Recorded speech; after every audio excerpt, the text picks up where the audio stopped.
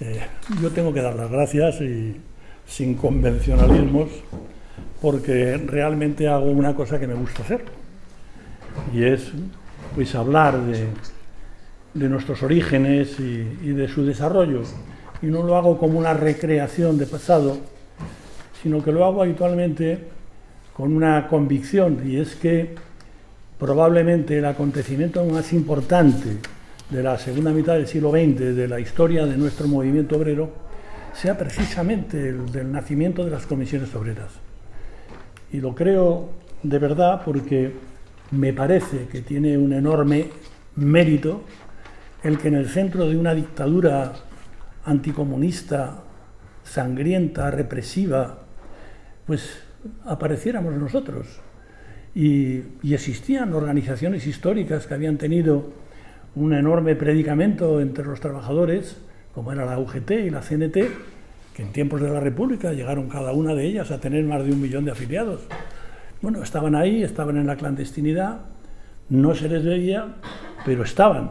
Y lo cierto es que estando ellos en el centro, repito, de un sistema represivo, no solo es que aparecimos, es que terminamos convirtiéndonos en la fundamental fuerza desde el punto de vista social, de la oposición al régimen de Franco y de la lucha por las libertades.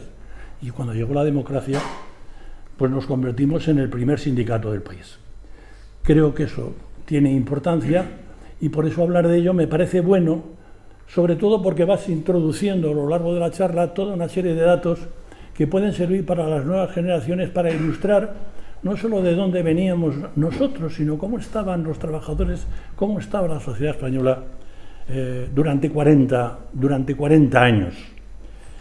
Y tenía una charla que doy con relativa frecuencia a los nuevos delegados y suelo quedarme en el periodo de la dictadura, pero eh, acabo cuando empieza la transición, pero me pidieron que hablara también de algo más próximo y algo más de presente, y al final he ido introduciendo en esto que traigo hoy aquí lo del ayer, hoy y mañana, pues para hablar unas seis horas y eh, he llegado a la conclusión, he llegado a la conclusión que en algunos de las diapositivas voy a ir muy deprisa, en otras me entretendré algo más.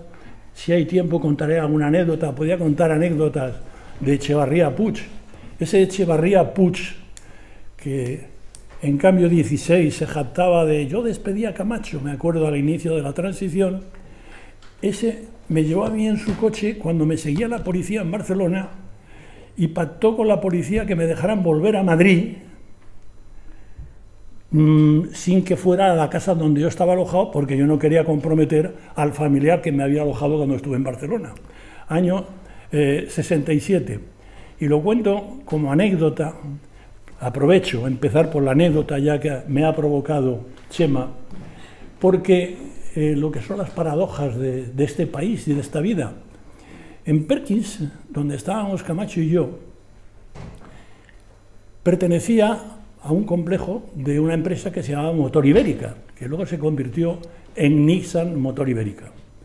El presidente del Consejo de Administración de Nixon Motor Ibérica era un señor que se llamaba Gerardo Salvador Merino. Este personaje había sido el primer delegado nacional de sindicatos con Franco Fijaros lo que os cuento. Y este personaje pertenecía a una corriente de falange que eran los edillistas, que eran críticos con la trayectoria que seguía el franquismo. Entonces, siendo uno de los personajes más importantes al inicio del periodo democrático, al final de la, guerra civil, este eh, Gerardo Salvador Merino terminó siendo un opositor y terminó siendo desterrado a eh, Cataluña, concretamente a la Costa Brava, que no era un mal destierro, pero hablo del año, del año 41, y este hombre se dedicó a los negocios con una familia de banca, con los del Banco Central, y se hizo presidente de Tabacos de Filipinas y de Motor Ibérica. Pues este señor, cuando nos metieron en la cárcel a Camacho y a mí en el 67, y que estuvimos, yo estuve cuatro años, Camacho en aquel momento estuvo hasta cuatro años y medio. Un día ya estaba Camacho en la cárcel, llegó a Perkins aquí de Canillejas y dijo al director que quería hablar conmigo. y me preguntó qué queríamos las comisiones obreras y se lo expliqué. Dijo, vale. Y este señor prohibió que se nos despidiera estando en la cárcel. Yo no tengo lagunas de cotización a la seguridad social durante los cuatro años de cárcel porque Marcelino y yo estuvimos en la plantilla de la empresa sin cobrar, se hacían colectas entre los trabajadores, porque Gerardo Salvador Merino se vengó de Franco por el destierro, no despidiéndonos. Eso forma parte de la historia que no se cuenta, pero que es, creo, muy significativo, muy importante, porque Franco, en gente de derechas, en algunos, tenía bastantes enemigos, no, era, no éramos solo nosotros. Lo cuento porque me parece una anécdota de, la, de lo más significativa. Y Echevarría Puig, mientras vivió Gerardo Salvador Merino, era el director de recursos humanos, este Echevarría, que luego le sucedió en la presidencia. Cuando yo salí de la cárcel, el director de la empresa, después de cuatro años, me dijo, venga inmediatamente, que esto va a cambiar, porque ha muerto don Gerardo. Joder, que sí cambió. Él cambió con, con el Echevarría. Pero repito, este Echevarría, una vez que fui a Barcelona en aquel periodo del 67, me seguía la policía, se enteraron que no estaba en Madrid, preguntaron a la fábrica a no sé a quién que dónde estaba, le dijeron que en Barcelona, llamaron a Barcelona y a la Brigada Político-Social de Barcelona le encargaron que me siguiera a ver qué hacía. Y yo estaba en una cosa de la fábrica, era una cosa de trabajo. En fin, perdonad que me he entretenido más de lo necesario contando una anécdota por esa, repito, provocación que me ha hecho Chema. Y ya yendo muy deprisa, yo los antecedentes de nuestro surgimiento, Comisiones Obreras no tiene partida de nacimiento, pero tiene un periodo en el cual es cuando más se desarrolla, pero previamente yo suelo contar que ya sabéis que al término de la guerra civil se proscribieron todas las organizaciones obreras, fueran políticas, sindicales o sociales, y además de confiscar los bienes de las viejas organizaciones históricas y de, todas las que estuvieron del lado de la República, creó su propia organización, la Organización Sindical Española, que se llamaba Organización Sindical, pero que no era un sindicato, era un lugar de encuadramiento donde estábamos los trabajadores y los empresarios, todos juntos, todos juntos, porque ellos decían que había que superar la lucha de clases y que éramos todos productores. Y ahí nos tenías al jefe y al empleado en la misma organización que se llamaba sindicato.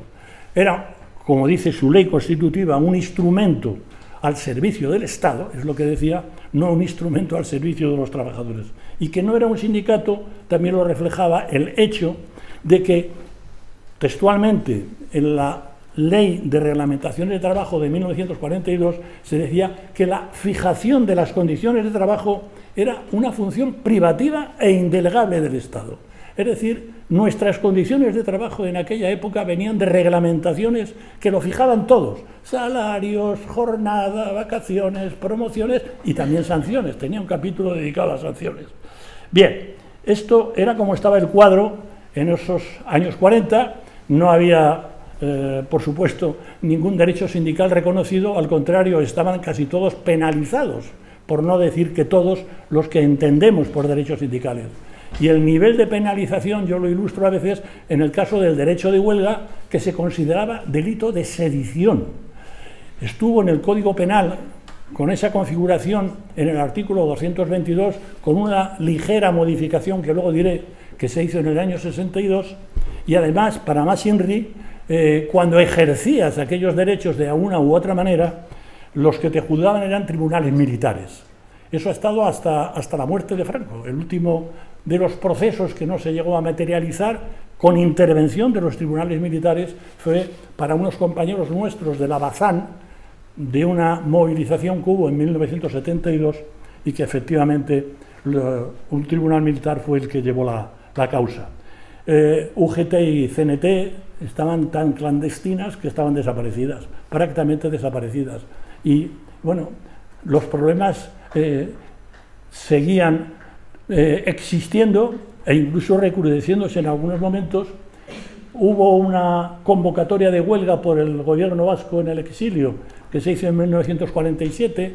También las fuerzas de la oposición desde la clandestinidad nos convocaron a un boicot a los transportes que se hizo en 1951. Yo os cuento muchas de estas cosas porque las he vivido.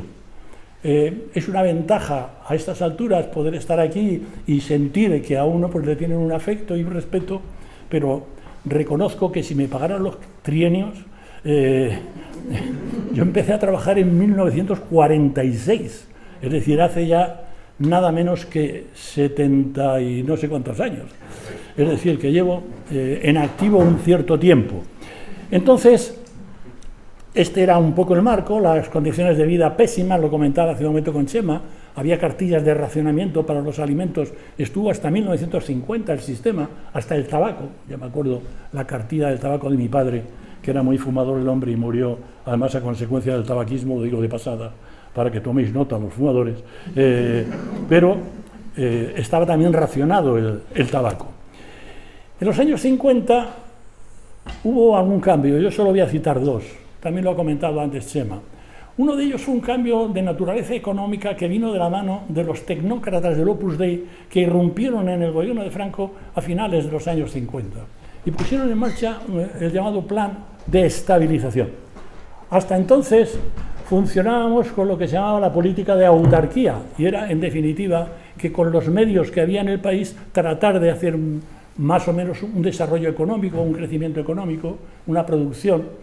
El país estaba bastante aislado internacionalmente por su alineamiento eh, en la Segunda Guerra Mundial del lado de los nazis y entonces eh, las industrias, las empresas en general eran de un obsoleto, la mayoría terrible, y, había este sector que se planteó que había que intentar modernizar aquello.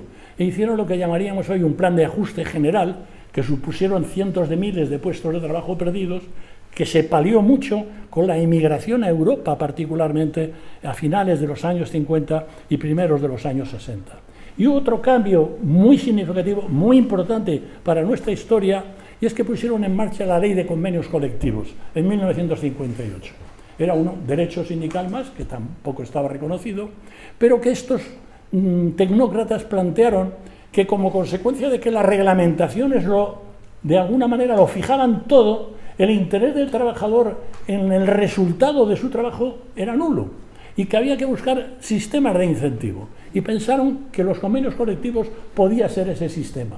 Y entonces previeron que eso podía generar algún tipo de conflicto, pero la estructura del sindicato vertical dijeron que sería la que negociaría los convenios, sobre todo más allá de la empresa, y en las empresas ya solo habas contadas de empresas más o menos grandes.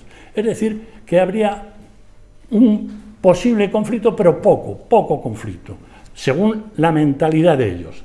Creo que se equivocaron, pero es el motivo de que pusieran en marcha esa ley a finales del 58. Todos estos cambios, la situación que había, muchas más cosas que podría contar de la época, claro, todo eso se hacía con lo que llamo un vacío de representación. El sindicato vertical no servía, era de control, no, no, no de representación y defensa de intereses, y los sindicatos históricos desaparecidos.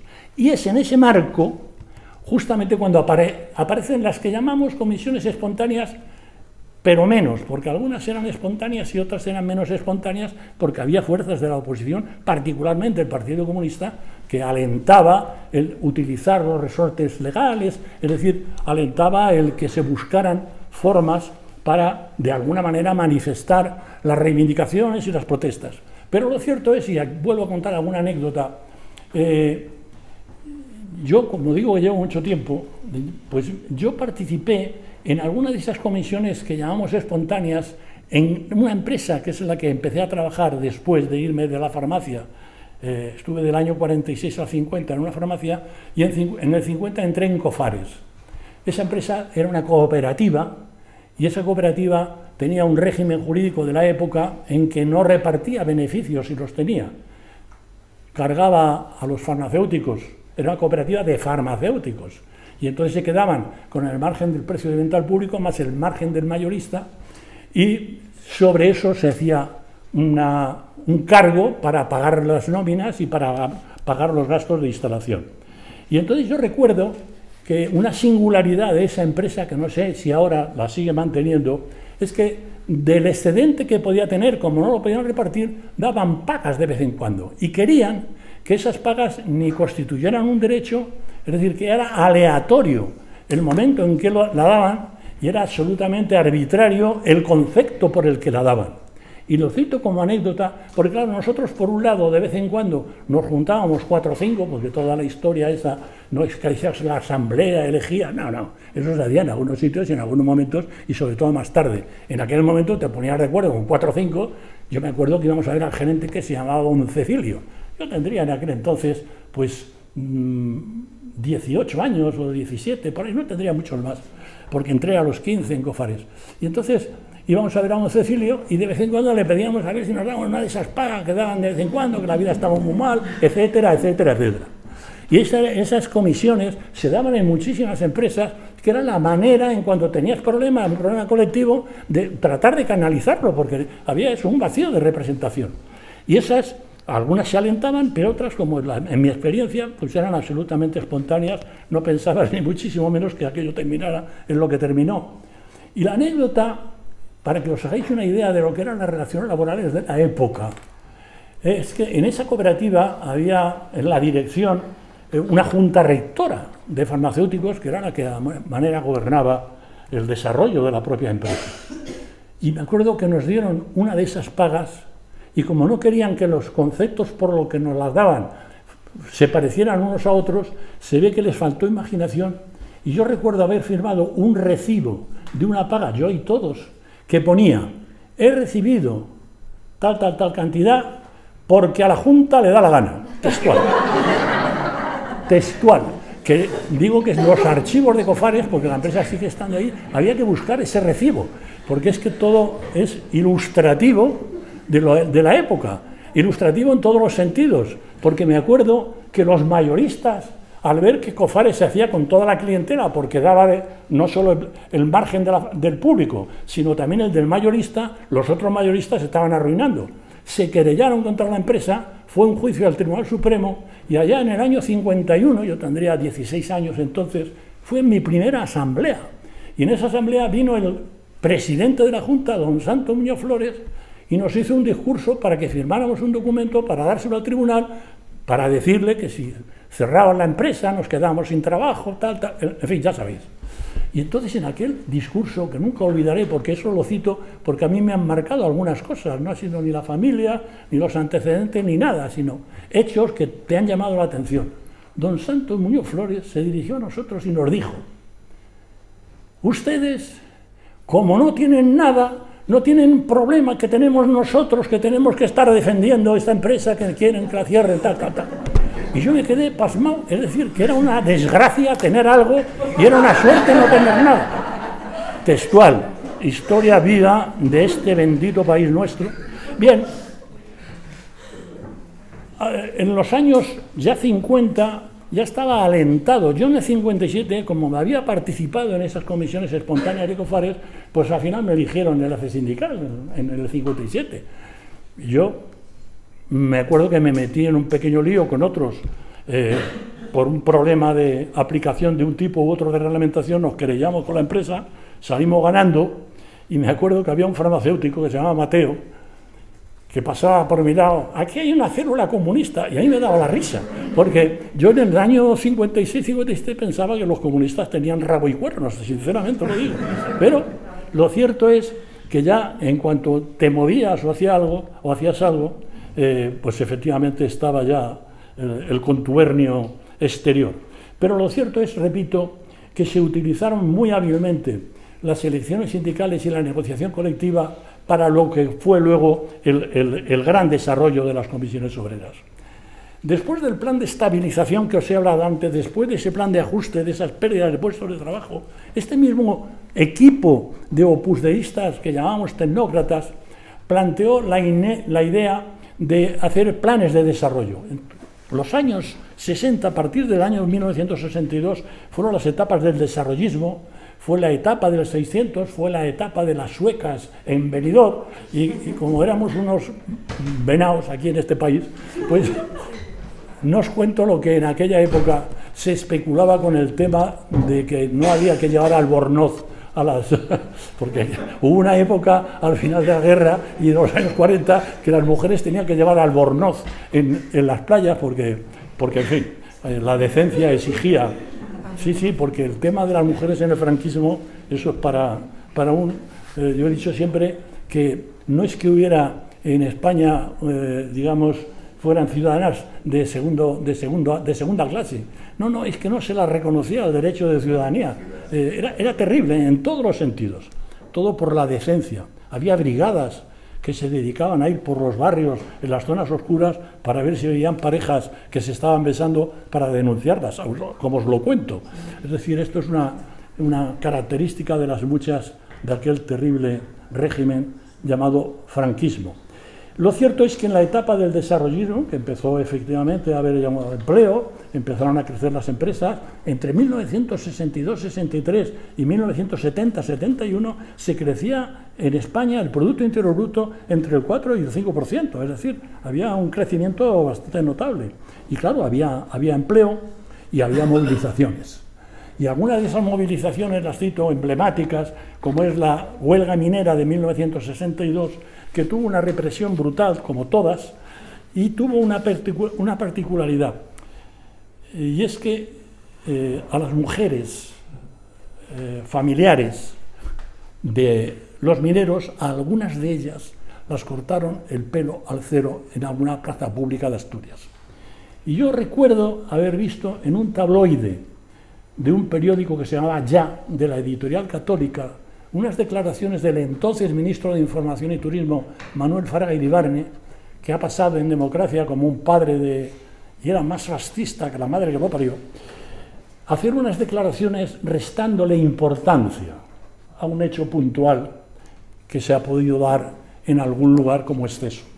Yo lo, recordaré siempre porque aquello fue un cierto escándalo que ya trascendió a los medios de comunicación porque provocó la represión de la huelga del 62, un movimiento de solidaridad a nivel interno y a nivel externo, e incluso una declaración que hicieron, creo que la encabezaba Menéndez Pidal, un filólogo ya fallecido, eh, denunciando eh, el, régimen de, represión en que se vivía en este país. Eh, la campaña internacional hizo mella y entonces apareció y aquí ya fijaros en una parte que es central y que hay que explicarla bien porque el otro día dando una charla a los nuevos y la parte esta misma de la que os estoy hablando, alguno interpretó que poco menos que la llegada del Opus Dei fue una bendición. No, eran unos tecnócratas, tan de derecha como el resto, pero que tenían un poco más de sentido común que otros. Y entonces, estos con otros que no eran del Opus Dei, plantearon que había que lavarle la cara al régimen que tanta represión y esa imagen en el exterior, para ellos que era fundamental el desarrollo económico del país, competir con el exterior, eh, esa imagen que daba España había que intentar eh, dulcificarla. Y entonces se hicieron una serie de modificaciones a principios de los años 60. Por ejemplo, lo citaba antes, el derecho de huelga que estaba en el artículo 222 del Código Penal, eh, dejó de ser delito, no que estuviera autorizado, sino que dejó de ser el delito de equivalente a sedición y eh, pasó a serlo solo para los empleados públicos y para los trabajadores de empresas que, aunque no fueran públicas, eh, hicieran producciones que tenían que ver con la defensa nacional o con el interés general del país. Esto es lo que explica que a pesar de que otra de las modificaciones fue la sustitución de los tribunales militares por un tribunal especial para perseguir, hablo por supuesto de los derechos eh, políticos y sindicales, es decir, los derechos de asociación, reunión, manifestación, etc., eh, pasó a juzgarlos un tribunal civil, pero un tribunal especial que se llamó eh, Tribunal de Orden Público, los juzgados de orden público. Pero para el caso de esos trabajadores que estuvieran en empresas estratégicas en cuanto al contenido de su producción, seguirían funcionando los tribunales militares. Y eso explica que a los compañeros de la Bazana, a los 23, que se llama del proceso de Ferrol, 23, que fue una manifestación eh, en torno a un convenio colectivo que produjo dos muertos la manifestación, los juzgó efectivamente, vamos, los juzgó no, lo llevó el sumario un tribunal militar en un juicio que nunca llegó a celebrarse pero que estuvo en manos del, Tribunal Militar, a pesar de que los hechos fueron de 10 años después, de 1972. En las modificaciones se hizo también una regulación del salario mínimo, que no existía, y se hizo una modificación de la ley de prensa de la mano de Fraga y Libarde. Le citaré dos o tres veces, no es porque le tenga una especial manía, pero sí tengo un cierto cabreo de que haya muerto en olor de poco menos de santidad.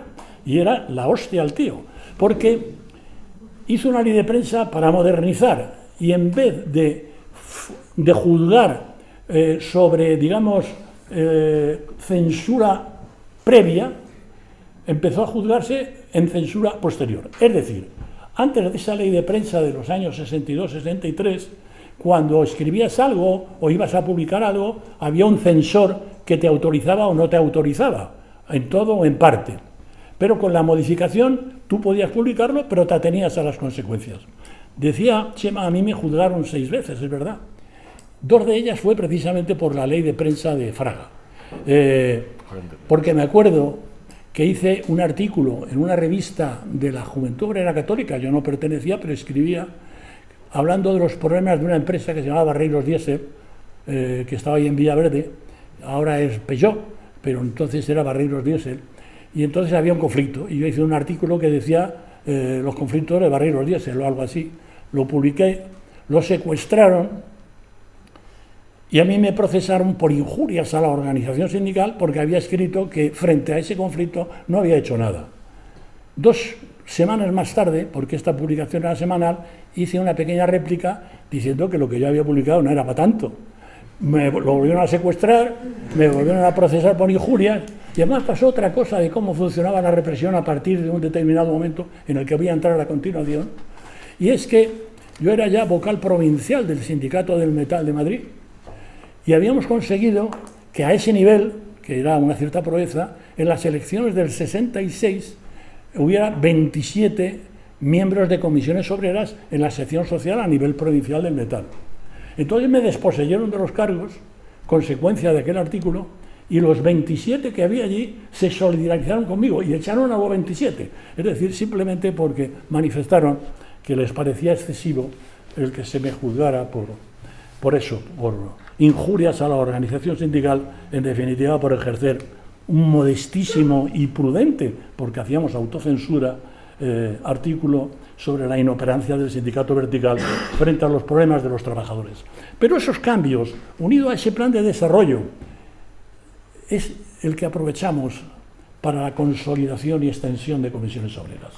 El momento clave, repito, como dije al principio, no tenemos partida de nacimiento, pero fueron, sobre todo a partir de las elecciones de 1963, de las sindicales, yo ya me presenté con Camacho en las elecciones del 60 en Perkins, y luego nos presentamos en la del 63. Y recuerdo cuando algunos que dicen que saben y cuentan la historia, yo me acuerdo con Camacho y yo, hombro por hombro, que estuvimos muchísimos años, como me decía, Julián, tenemos que crear comisiones obreras en, en aquel momento.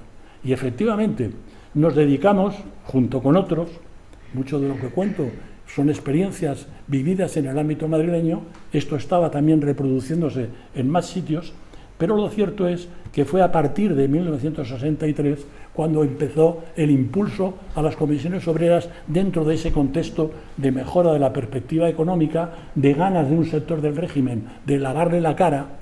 Y es un periodo donde actuábamos y actuábamos de manera abierta nos presionaba la policía. A mí me, yo he llegado a ir en una semana tres veces a declarar a la Dirección General de, Seguridad ante el jefe de la Brigada Político-Social, Saturnino Yagüe, que hacía en su imagen física, hacía desde luego un enorme, era, absolutamente representativa la imagen física de lo que era la Brigada Político-Social, el tío más siniestro de, que os podéis imaginar, incluso repito de imagen, si lo veis, decir, este seguro que está en plena campaña de represión contraria. Entonces, lo cierto es que era lo que yo llamaba una represión blanda, en despidos, dependiendo de la zona del país era más o menos aguda, pero lo cierto es que estábamos actuando a cara descubierta.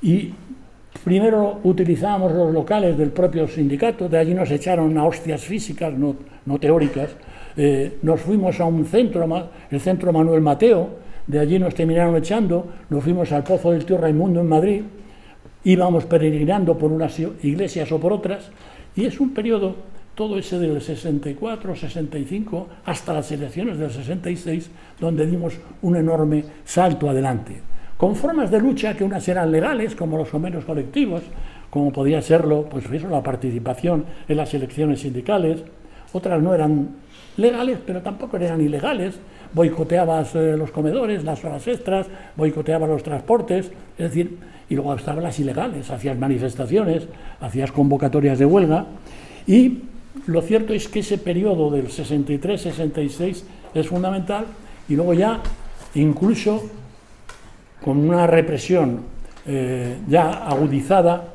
pues hicimos la coordinación de las comisiones obreras a nivel del Estado.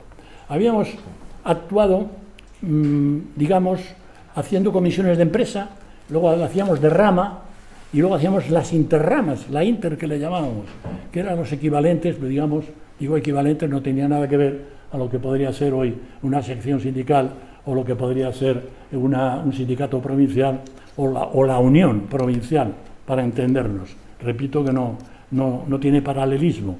Lo cierto es que, en definitiva, mm, nos fuimos desarrollando, eh, nos empezamos a comunicar fuera de Madrid eh, con otros eh, en, la, en, el desarrollo de todo ese movimiento.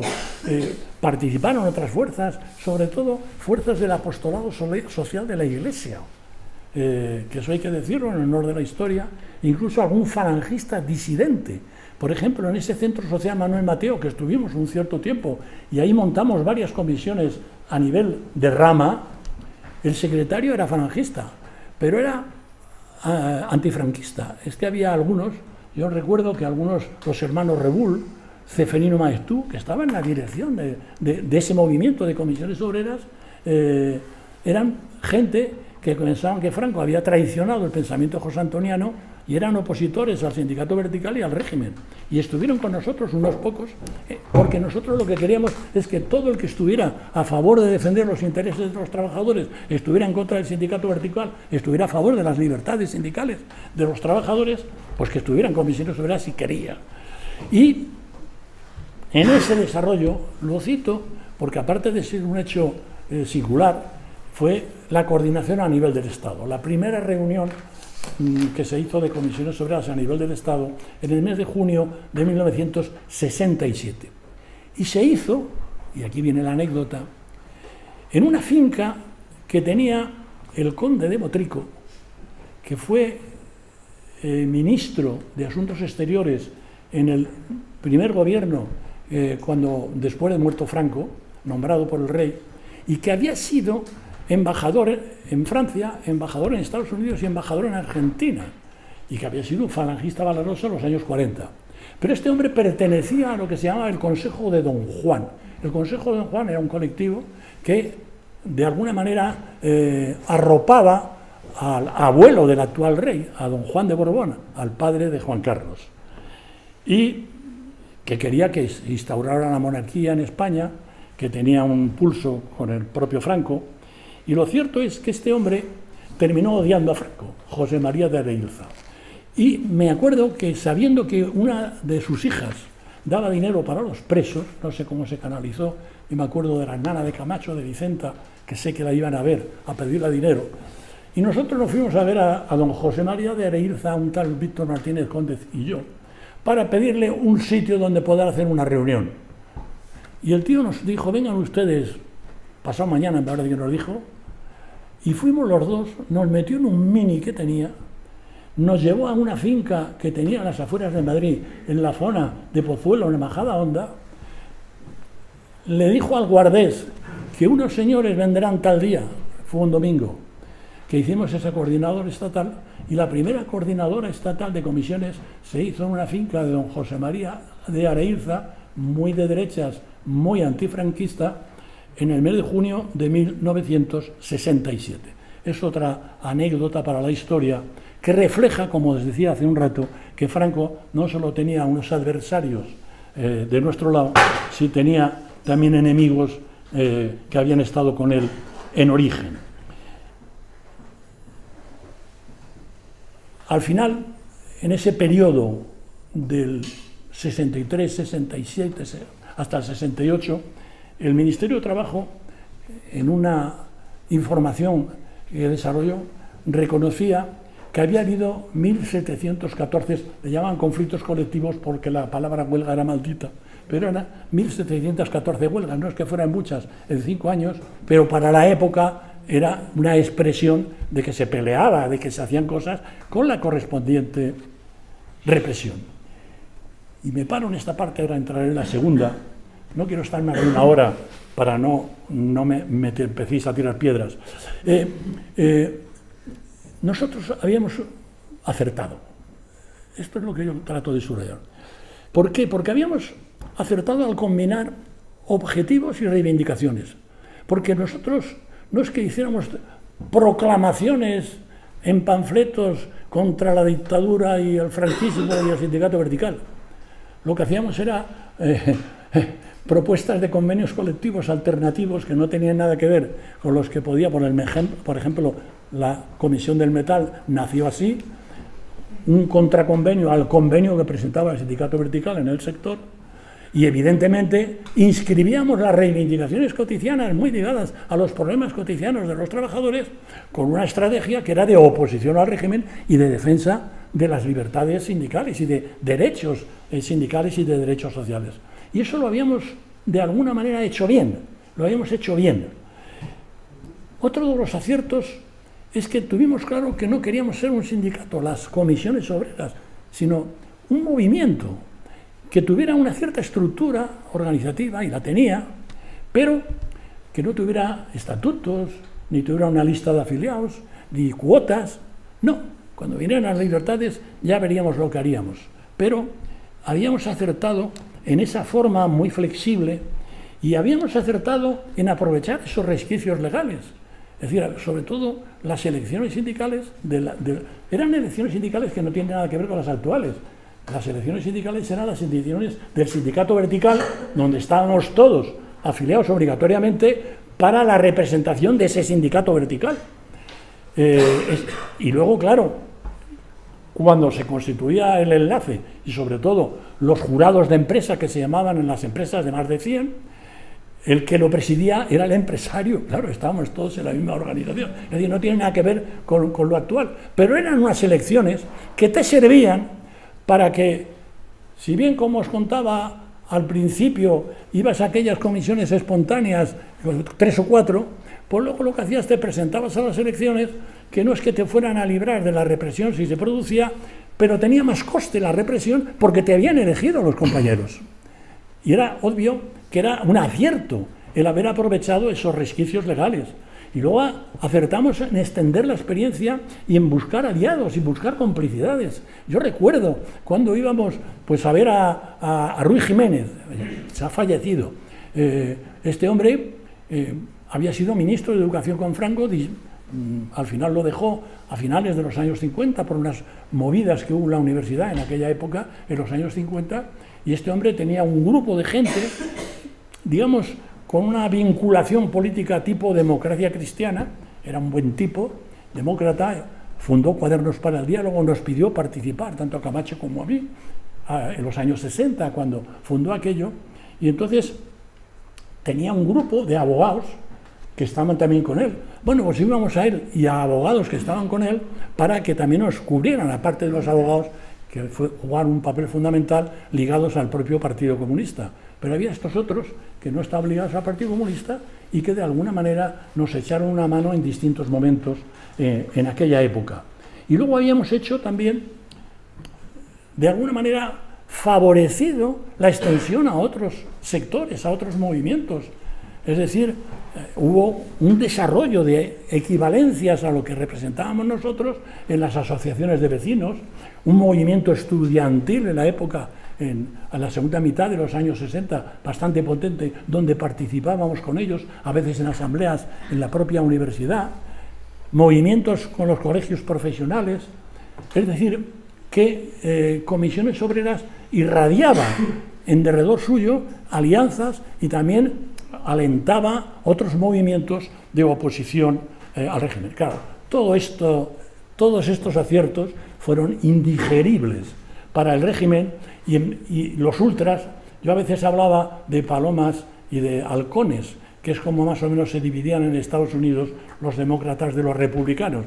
Aquí no había palomas, eran aves de rapiña casi todos, pero había algunos que tenían, repito, un poco más de talento, como estos que yo llamo aperturistas de, entre comillas, del régimen. Y entonces, lo cierto es que eh, frente a ese movimiento que desarrollaron algunos, salieron los ultras, los halcones, que es una faena, había que llamarle cuervos, porque el halcón no deja de ser un animal eh, digno, es decir, pero no digo que el cuervo no lo sea, pero bueno, entendéis la diferencia. Entonces, entonces, claro, hubo una sentencia del Tribunal Supremo, dejamos de ser ilícitos para pasar a ser subversivos, dirigidos por el comunismo internacional, para derrocar eh, las instituciones del sistema, y empezaron a darnos palos para, para, para aburrir. Todos habéis oído, seguro, más de una vez, hablar del famoso proceso 1001. Hubo cientos de procesos. Ninguno de la magnitud del 1001, pero algunos, yo recuerdo, a mí, eh, de esas seis veces, tres de ellas fueron por el Tribunal de Orden Público, por asociación, reunión, manifestación, es decir, distintos, distintos procesos. Y yo me acuerdo que hicimos una asamblea en octubre de 1967 para promover una de las movilizaciones de la época que ya habíamos experimentado en Madrid en enero también del 67. Es decir, desde la periferia abandonábamos los transportes de la empresa y veníamos andando hacia el centro de Madrid. Los de la parte este, pues íbamos a ventas, los de la parte sur, Getafe y compañía, iban hasta Legazpi, los de la parte norte, norte se quedaban en otro lado. Y esas marchas, hicimos una marcha en enero del 67, ahí tengo uno de los procesos con Camacho, nos procesaron a los dos y nos metieron 14, 14 meses de, cárcel por, aquella marcha. Y luego esta otra de octubre, ahí nos procesaron a 17, entre ellos a Sartorius, estaban esta, dirigentes, incluso varios dirigentes de los movimientos sociales de la Iglesia de un sindicato que tenían, que era AST, que se incorporó a comisiones obreras sin abandonar la sigla, y tres o cuatro de sus dirigentes cayeron en ese proceso. A mí me pidieron diez años, dos meses y un día, y me condenaron a ocho. Y esto fue cinco años antes del propio proceso 1001. Luego está ese proceso que os he dicho antes del Ferrol, del Abazán, que también fue terrible porque además hubo muertos. A pesar de esa represión y de los cientos de procesos, de los miles de despidos, pues la lucha eh, continuaba, ya empezaba a haber más dificultades, obvio es decirlo, incluso hubo una huelga emblemática que yo la cito, que fue la huelga de bandas de laminación de, cherry, de Charri en Guipúzcoa, que duró seis meses, una huelga que duró seis meses entre finales de 1966 y principios de 1967. Como os decía, se había extendido también toda una movida en la universidad de oposición de profesores, pero sobre todo de estudiantes, y al final, en el primer trimestre del 68, cerraron las facultades de Madrid, de Barcelona, de Valencia y de Sevilla. En 1969 el régimen declaró un estado de excepción. Las manifestaciones ya se reprimían a tiros. Murieron, murió un compañero, eso fue por hacer propaganda en Getafe, eh, un Patiño se llamaba, eh, le, mataron, le mató la policía, en Granada hubo una manifestación de la construcción y mataron a tres, mataron a uno en el País Vasco, en el Ferrol, como he dicho antes, mataron a dos, mataron a otro en Barcelona. Es decir, que la represión fue realmente eh, sangrienta. Y a pesar de eso, la, la, lucha continuó. Una huelga de maestros importante en el 73, hubo una huelga en el 73 general de Navarra, Empezaron las movilizaciones de los médicos internos y residentes también en esos tiempos. Hubo bastantes movilizaciones en el 73, 74, 75. Todo, muchísimos despidos, muchísima represión. En las elecciones del 71 hubo dudas de presentarse o no. Al final decidimos presentarnos en las elecciones sindicales del 71. Las habían retrasado dos años. Se hacían cada tres las últimas habían sido en el 66, tocaba en el 69 y lo que tocó en el 69 fue ese estado de excepción. Al final se hicieron en el 71, pero dijeron que solo se eligiera a la mitad de los que habría que elegir. La otra mitad estaba seguramente en la calle, pero lo cierto es, porque fue un periodo realmente duro. Pero al final nos presentamos con la Unión Sindical Obrera en las elecciones de 1975, en lo que llamamos candidaturas unitarias y democráticas, y fuimos copando de nuevo espacios de representación utilizando las elecciones sindicales.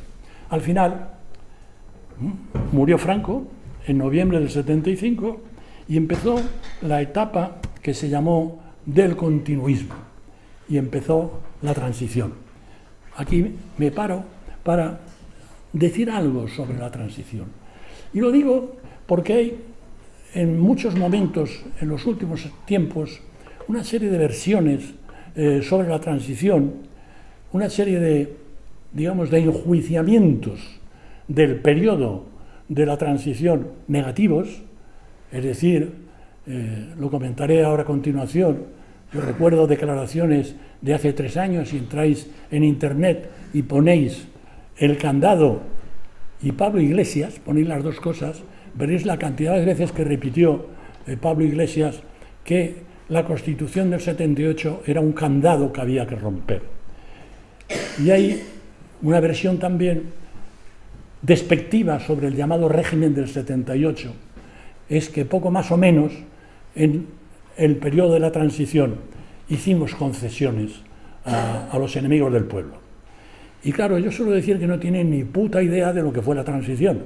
Eso hay que vivirlo y una vez que lo vives o lo enjuicias con objetividad, porque hay mucho escrito, puedes hacer un juicio. Yo suelo simplificar a veces, le digo, oye, ¿qué opinas de que Franco muriera en noviembre de 1975 y no nos legalizaron hasta abril de 1977? ¿Por qué 18 meses de muerte, después de muerto Franco? Y hubo que tener los muertos de Atocha en enero del 77. Y hubo, en definitiva, que hacer todo lo que hicimos para conseguir al final que efectivamente legalizaran a los partidos, legalizaran al PC y nos legalizaran a nosotros. Y entonces se olvida, por ejemplo, que el continuismo cuando muere Franco, es la imagen gráfica que trata de representar el interés que había de que hubiera un franquismo sin Franco. Había un gobierno encabezado por el carnicero de Málaga, llamado Carlos Arias Navarro, le llamaban el carnicero de Málaga por los muchos que mató durante el periodo de la guerra civil, los muchos que fusiló en Málaga. El tal Carlos Arias Navarro, que era el que pasó a ser eh, jefe del gobierno una vez muerto Franco, con ministro de la Gobernación Manuel Fraga y Ibarne, otra vez Fraga y Ibarne. Y hubo unas movilizaciones que acabaron con ese intento de franquismo sin Franco, pero tardaron unos meses. En esos meses, por ejemplo, en Madrid, en, los, en el primer trimestre del 76, cerca de 300.000 trabajadores participamos en huelga. A mí la última vez que me detuvieron fue en enero del 76, después de muerto Franco. Es decir, había luchas, pero también había represión. Militarizaron el metro, militarizaron la Renfe. Hubo en el año 76 106 millones de horas de huelga. Se contabilizaban, según el propio ministerio, en torno a 40.000 conflictos de empresa en el año 76. Hubo 11 huelgas generales entre marzo del 76 y marzo del 77 en el País Vasco. Y esa presión que se ejerció en el 76, efectivamente, acabó con el intento del franquismo sin Franco, pero no tuvo la suficiente potencia para producir la ruptura democrática con el franquismo, que es lo que queríamos, una ruptura con un gobierno provisional, una asamblea constituyente. Eso no se dio, pero no se dio porque no se pudo pero se influyó incluso para que se pusieran de acuerdo las fuerzas de la oposición que estaban en la plataforma de convergencia democrática, encabezada por el Partido Socialista y la Junta Democrática de España, encabezada por el Partido Comunista. Yo estuve representando a comisiones obreras en la Comisión Permanente de la Junta Democrática de España en aquel periodo.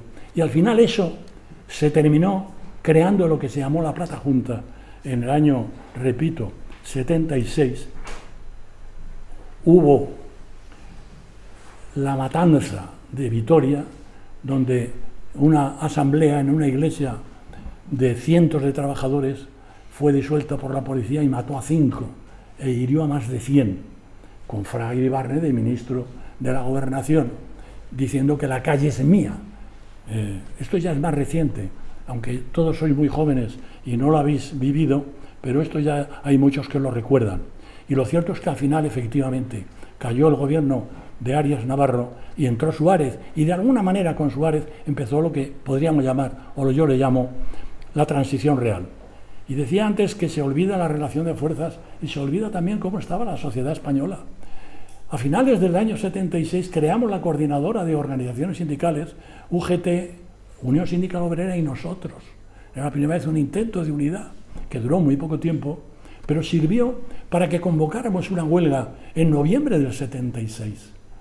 Y esa huelga tenía un doble filo, el de las reivindicaciones en su contenido, como siempre, pero una intencionalidad que influyera en lo que era la posición de la oposición política y de nosotros en la toma de posición, a su vez, de la reforma política de Suárez. Suárez hizo una reforma política que significaba, de alguna manera, el fin de muchas instituciones franquistas. Muchos franquistas dijeron que era su suicidio. Hizo un referéndum y se planteó la abstención. Y nosotros quisimos acompañar aquello, no como motivo fundamental, pero sí como motivo añadido al reivindicativo de noviembre del 76 con la huelga. Y amigos, el pueblo español, pese a la posición que decíamos abstención, pues votó el 76% y de los que votaron el 91% votó sí a la reforma política de Suárez, finales del 76. Y donde más se votó fue en Cataluña, curioso, luego ver cómo han ido evolucionando las cosas.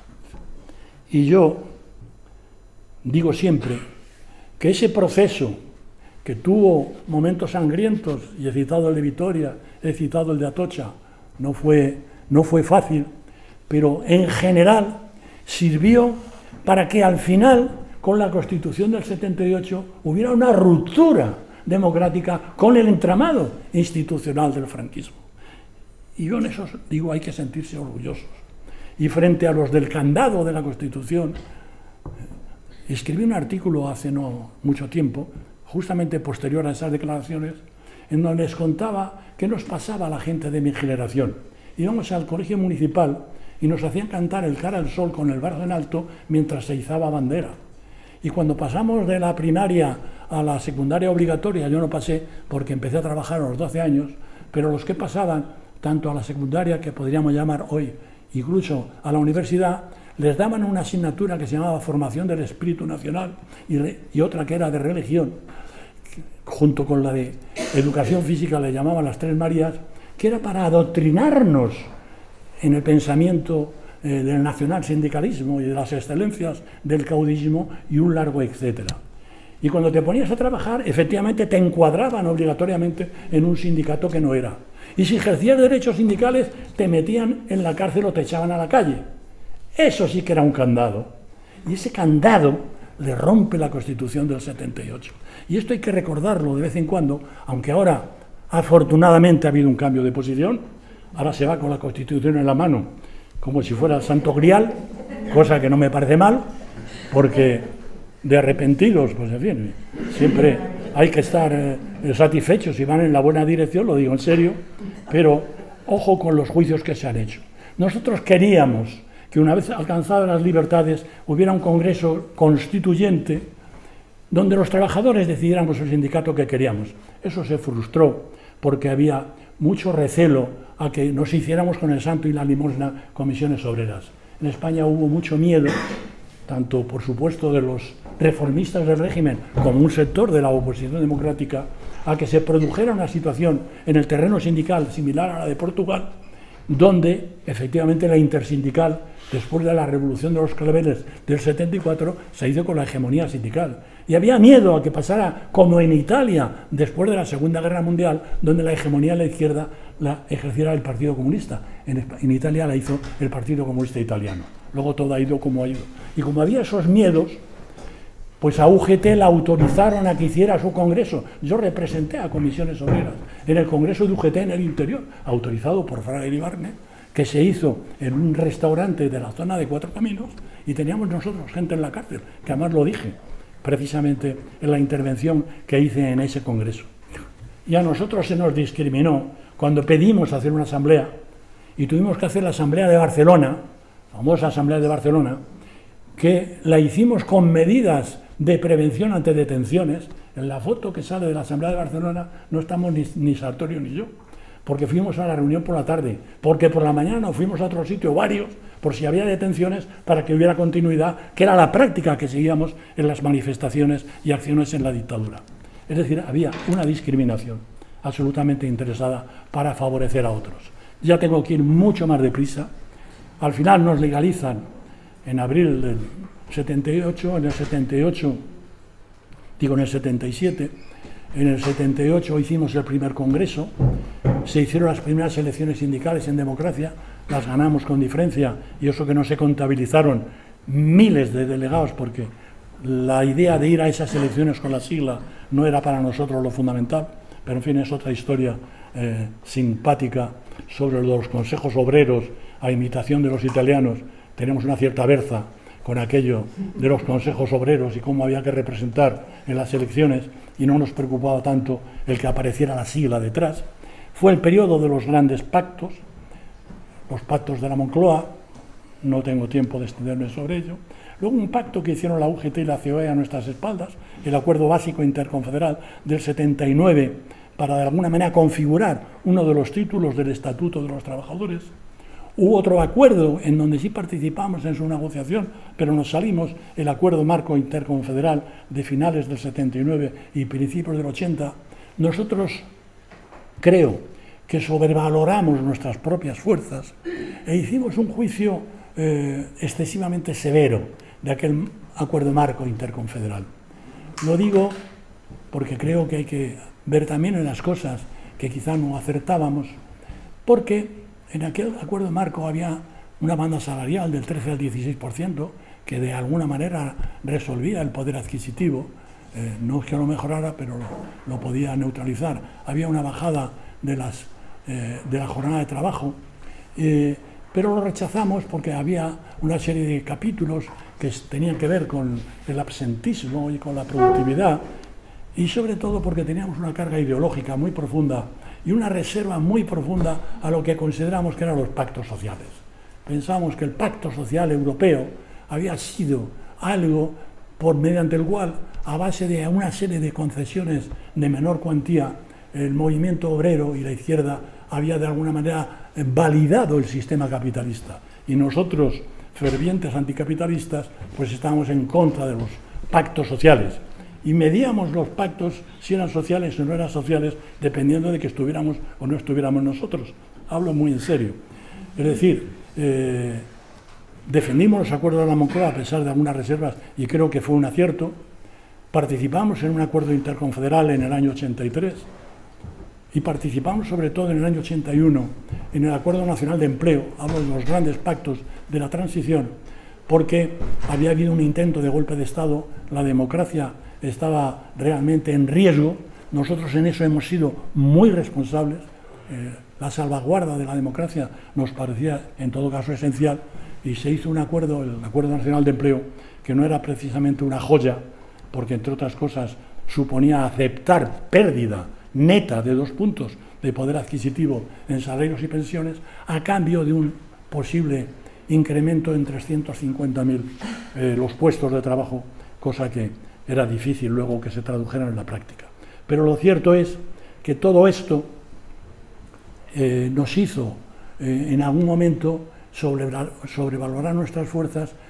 Quisimos, y lo dijimos así en un Consejo Confederal que hicimos en diciembre de 1979, eh, que vaciaríamos el acuerdo marco interconfederal en las fábricas. No, la verdad es que no, no lo vaciamos y tuvimos un periodo realmente difícil. Pero en fin, aquello se transitó y al final, como tampoco fue muy, muy acertada la posición de UGT, al final terminaron también tarifando con los gobiernos de la época y empezó un periodo de unidad-acción que dura hasta nuestros días, cosa que, era, eh, que, es desde mi punto de vista, altamente positivo.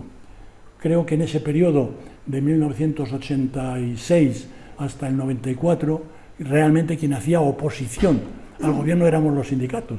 La, la, la, patronal, oh, perdón, el Partido Popular eh, no sabía si iba o venía, eh, ha estado en un periodo realmente curioso de inoperancia, sobre todo en la época de Hernández Mancha, etcétera, y nosotros le hicimos la huelga del 85, comisiones obreras, contra una reforma que hicieron la pensión, la hicimos en solitario, después hicimos conjuntamente con UGT la famosa huelga del 88, hicimos la del 92, la del 94, fue un periodo de grandes movilizaciones, que por cierto cuando dicen que los sindicatos solo nos preocupamos de los de las trabajadores de la industria con empleo fijo, catapún chin chin, bueno pues la huelga de 1965 fue contra un recorte que había en las pensiones que se elevó de dos a ocho años el periodo de cómputo para eh, de alguna manera determinar el cálculo de la base reguladora que sería más o menos discutible si fue justo o no fue justo, pero lo cierto es que en el contexto de la época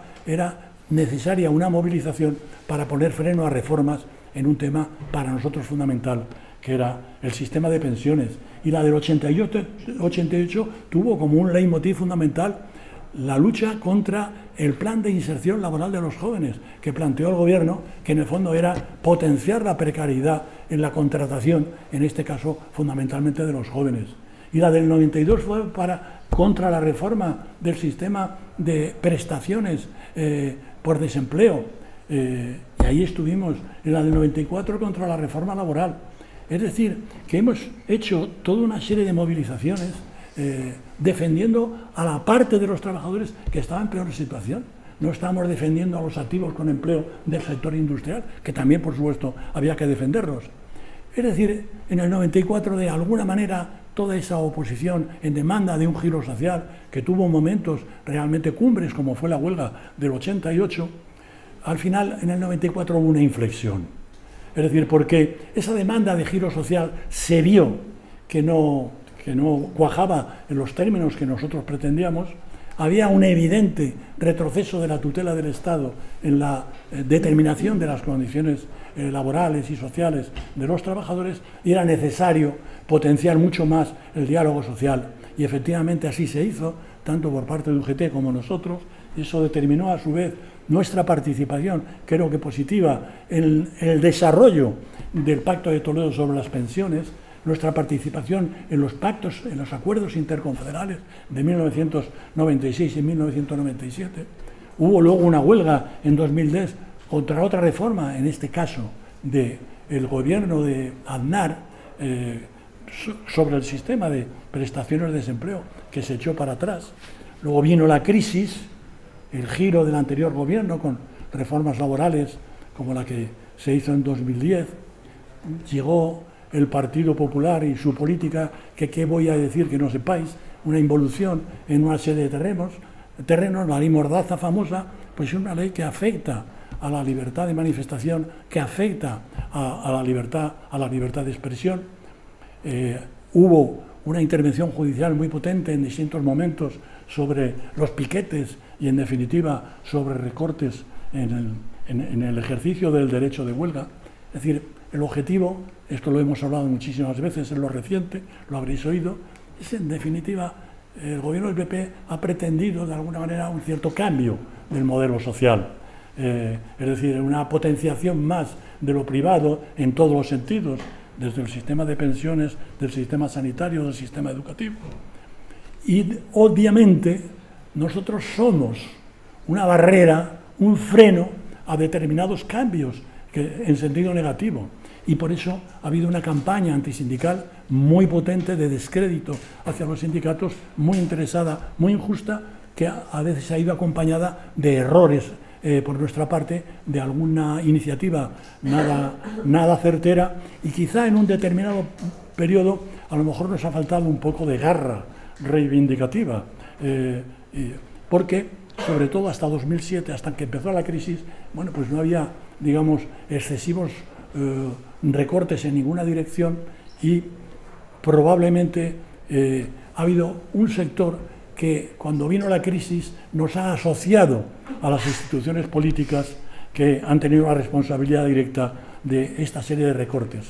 Pero lo cierto es que también en este periodo nos hemos movilizado en 2010, en 2012, nada menos que dos, dos huelgas, las dos con motivo de reformas laborales e incluso con motivo también de reformas en el sistema de pensiones.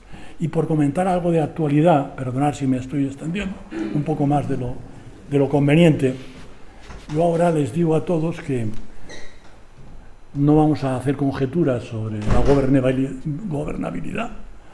Ah, creo que hay una demanda de participación el gobierno que ejerce Podemos sobre el Partido Socialista.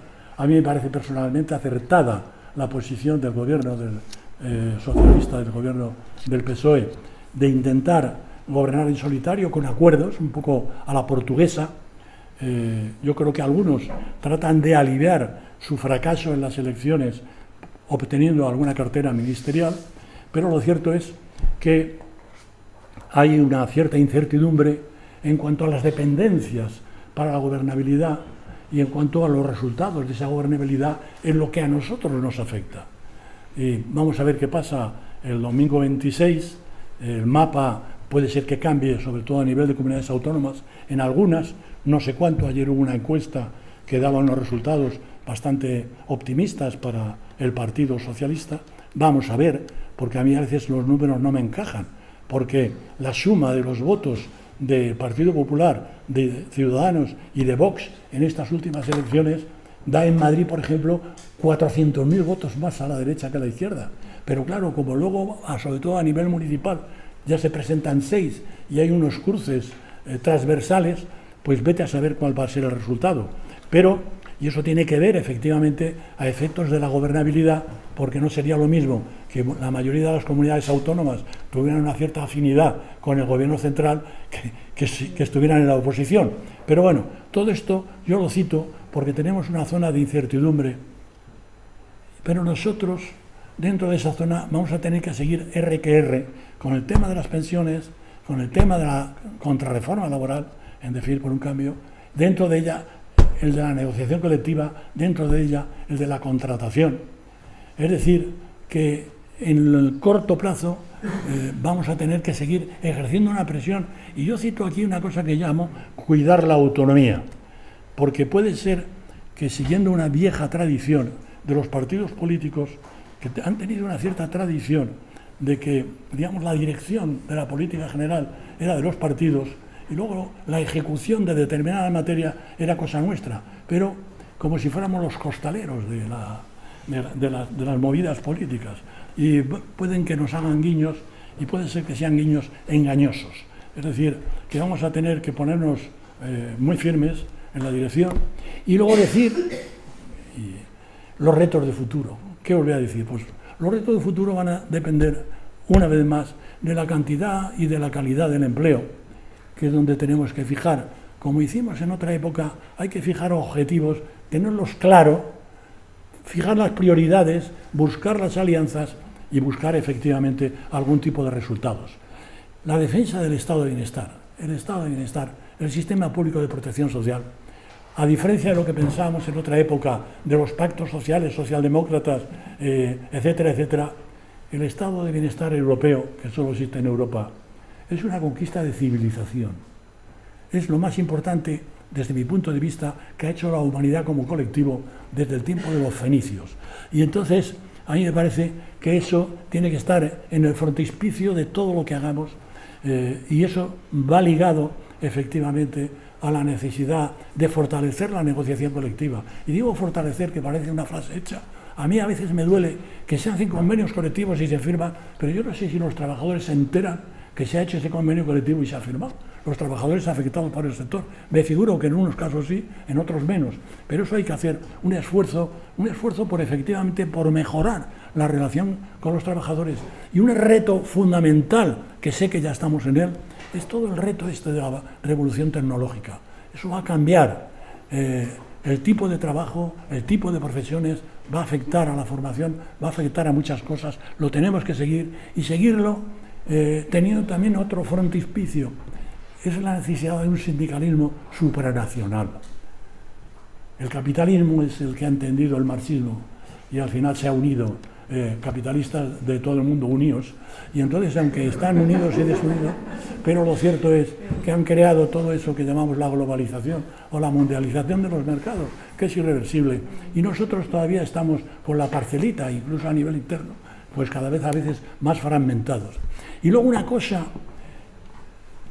que yo no me queda más remedio que decir, eh, yo que llevo, como veis en esto, mucho tiempo, y siempre ligado a la política, siempre he estado, pero me he hecho muy desconfiado, muy desconfiado.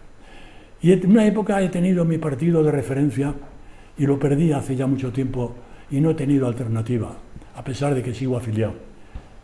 Y por eso le digo a las nuevas generaciones que ante la desconfianza que a veces genera la política y genera los partidos, para guiarse en todo lo que tenemos que hacer, es necesario tener claro cinco o seis cosas, cinco o seis valores. Si tenemos claro lo que es el valor de la igualdad, si tenemos claro cuál es el valor de la solidaridad, si tenemos claro cuál es el valor de la justicia, el valor de la libertad, el valor del propio internacionalismo, tenemos claro casi todo. Y entonces, aunque me quedo aquí y me queda una parte que a lo mejor en las charlas me permite volver a ella, os quiero decir que creo que hemos sido un factor muy importante en la lucha por las libertades en España. Hemos sido un factor que ha colaborado mucho en el periodo de la configuración, en el periodo democrático, en la defensa de la propia democracia, en el sentido de responsabilidad frente al empleo. Hemos practicado eso que eufemísticamente se llama moderación salarial. Nunca lo valoramos nosotros mismos, pero hemos subordinado al tema del empleo muchísimas cosas. Y hemos contribuido, creo que mucho, lo digo sinceramente, a que este país sea otro. No ya del que yo conocí, sino, y yo viví en mi juventud, y no solo en mi juventud, que cuando Franco murió yo ya tenía 43 años, eh, que no era ningún chaval. Hemos hecho, repito, una contribución esencial a que este país sea otro. Es lo que tenía al final, iba a dar datos, no los doy por razones de tiempo, pero lo cierto es que nos tenemos que sentir, desde mi punto de vista, bastante orgullosos de lo que ha sido nuestro papel en la historia de nuestro país en el último, más del último medio siglo. Y ya vale.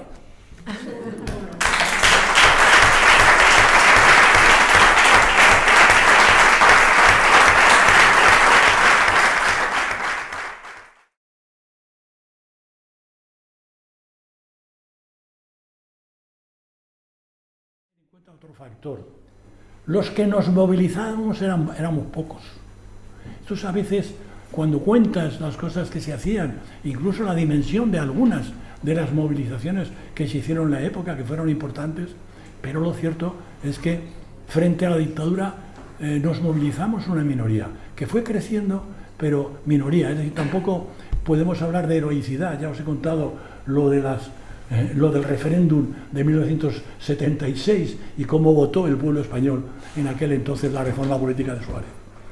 Conclusión, ese otro mundo distinto hacía que los que estábamos comprometidos eh, arriesgabas más porque tenías eh, de alguna manera más motivos para arriesgar.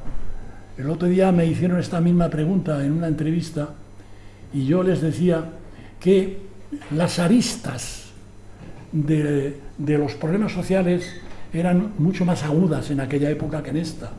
Eso está mucho actualmente, pese a la precariedad, pese al desempleo juvenil, pese a todas las agresiones que se nos hacen y algunos retrocesos, lo cierto es que, eh, digamos, el nivel alcanzado de un cierto bienestar social, pues no es comparable con el que se tenía en mi época. Y eso también es un factor que sin ninguna duda en los eh, nos movilizamos influya.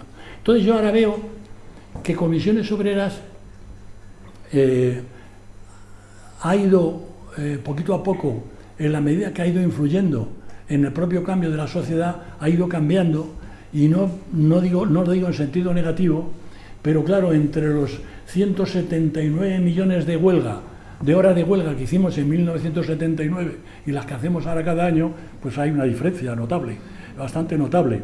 Pero es que la situación del 79 o la del 76 o la del 78 no es equiparable a la que es en la actualidad. Yo creo que Comisiones Obreras eh, tiene de alguna manera que acertar a organizarse para llegar más a una población trabajadora, a un mundo del trabajo que es más heterogéneo, con unas mentalidades distintas a las de nuestra época, donde el propio sistema productivo, las mismas formas de organización del trabajo, influían en el sentido de clase, en el sentido colectivo. Eso está mucho más diluido. La clase obrera tradicional ha ido reduciéndose. Gente que se identifique como clase, veréis que poco, y si alguno se identifica, se identifica como clase media. Que bueno, pues no deja de ser una visión relativamente optimista, pero que refleja que él siente que tiene un cierto bienestar. Entonces, comisiones tiene que ver cómo en sus propias formas de organización llega más de lo que llega. Tenemos un segmento amplísimo, sobre todo en gente joven y sobre todo en empresas pequeñas y alguna que no llegamos, que no llegamos. Y ese es uno de los esfuerzos enormes que hay que hacer, ligado a las cosas que decía antes, y de vez en cuando eh, enseñar los dientes. De vez en cuando enseñar los dientes. Yo estaba esperanzado hace poco porque me parecía que los íbamos a enseñar, porque así entre nosotros nos han estado tomando ligeramente el pelo en los últimos, en los últimos tiempos, porque hemos estado esperanzados en que de una manera u otra determinadas reivindicaciones eh, ante el Ministerio de Empleo eh, salieran adelante y la verdad es que no han salido. La reforma laboral comprometida pues está ahora en una propuesta de un nuevo estatuto de los trabajadores que bueno, que no es mala idea. Lo que pretendíamos sobre el sistema de pensiones, y ahí tenemos a Carlos Bravo que os puede ilustrar también eh, muchísimo mejor que yo. Bueno, es decir, ha habido en este último periodo, un poco debido también a las circunstancias, eh, más expectativas que realidades. Y no digo ya en el periodo inmediatamente anterior que de vez en cuando nos, pedíamos que nos, eh, nos pedían que nos hiciéramos una foto, pero no nos daban mucho más. Eh, conclusión, hay que acertar a ver cómo conectamos con más gente y mejor, hay que, como digo, enseñar los dientes de vez en cuando y sobre todo, eso no lo repito, tener claro los cinco o seis objetivos básicos a los que se tiene que subordinar casi todo, porque a veces tengo también la impresión que en comisiones obreras el espectro de lo que abarcamos es inmenso, pero la capacidad de apriete está eh, en proporción inversa al universo que abarcamos. Y a lo mejor hay que abarcar menos universo y eh, apretar más dentro del universo que abarcamos. Creo que se me entiende.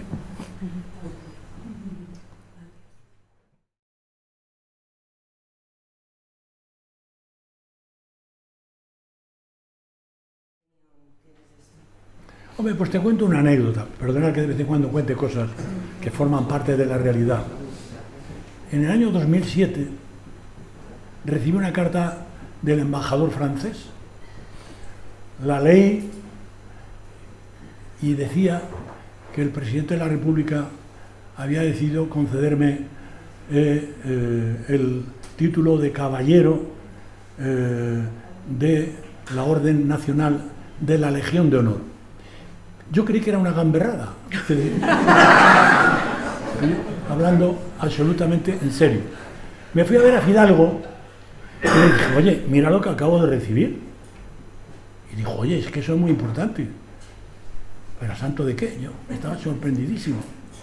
Bueno, averigüé y me enteré de que efectivamente la embajada se había estado interesando sobre mi biografía, había hablado con un par de compañeros al menos, entre ellos Javier Doz, pero a mí no me habían dicho nada y resulta que no era una broma, que era, que era cierto.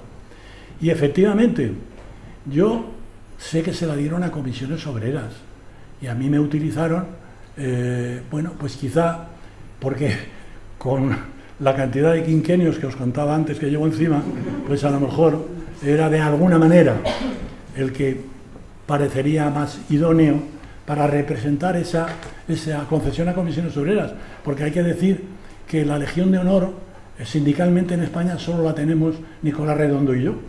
Eh, se la dan más a artistas, se la dan a, a, otra serie de gentes, pero a sindicalistas a pocos.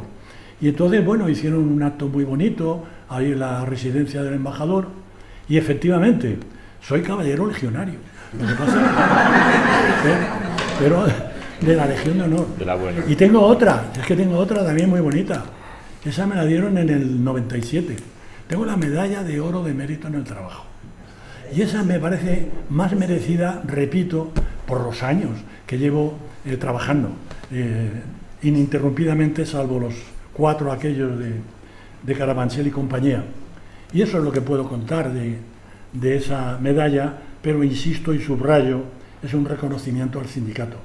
Y el reconocimiento, por cierto, en la medalla, y luego me dieron un, una cosa que tengo colgada allí en mi casa, en la pared, decía por el papel jugado justamente en la transición política a la democracia en España.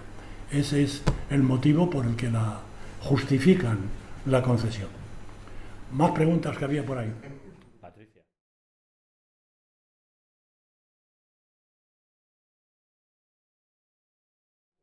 Sí, sí.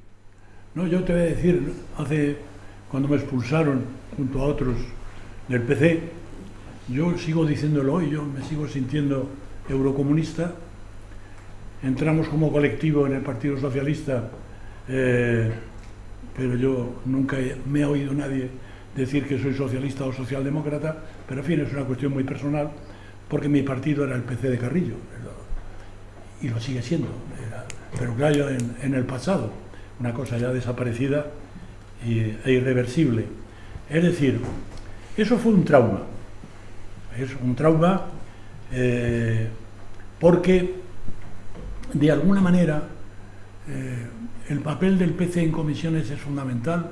Yo no lo he querido aquí insistir en, él, en ello, pero es central porque durante un tiempo en que nos desarrollamos y nos extendíamos, la articulación con muchos sitios era a través de la estructura que tenía clandestina el propio PC. Eso hay que decirlo en honor de la verdad. No era el único. He hablado de los movimientos sociales de la Iglesia y he hablado de otros movimientos y fuerzas políticas, el MC, Liga Comunista Revolucionaria, había otra serie de fuerzas que también participaban en comisiones obreras. Pero eh, de alguna manera el impulso, eh, sobre todo la parte inicial, que ha sido también motivo de controversia, porque unos decían, yo he oído a gente del significado del sindicato decir que de alguna manera el Partido Comunista se apropia de aquellas comisiones obreras. No, por favor, el Partido Comunista las impulsa eh, a fondo, y además es que lo he vivido, no es que me lo han contado. Y entonces me acuerdo, y lo he citado antes, cuando Marcelino, que estaba metido hasta las cachas en la dirección del PC, yo entré en el 63, pero Marcelino estaba desde antes. Entonces eh, era la consigna del propio PC el fomentar comisiones obreras. Y entonces, claro, entonces no se discutía ni siquiera en la opinión externa el que hubiera esa compatibilidad entre ser dirigente del sindicato y ser dirigente del PC. Yo soy una persona que hace poco me hicieron un homenaje en Castilla y León eh, porque fui lo que llamaban un diputado, punero, no diputado, sino candidato, por Valladolid, que yo no tenía nada que ver, y el partido me mandó a Valladolid de cabeza de lista en las elecciones del 77 y del 79, y a partir de ahí hice muchas amistades, muchos cariños, y los seguimos manteniendo. Y entonces, pues, el que yo fuera secretario de organización del sindicato y candidato del PC, lo digo como ejemplo, no había ningún problema, como la UGT estaban de diputados, pues Saraciba, Nicolás Redondo, etcétera, etcétera, etcétera. Pero claro, llega un momento de la crisis comunista.